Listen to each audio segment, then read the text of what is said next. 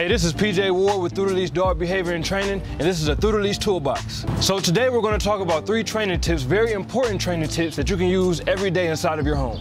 Tip one, don't repeat yourself. Repeating yourself will begin disobedience. You want to give the command once and then place your dog so they understand exactly what it is that your expectations are. Tip two, be consistent. Any slight difference that you use can be confusing to your dog. A left hand signal is completely different than a right hand signal. This is an easy way to confuse your dog when trying to communicate with them.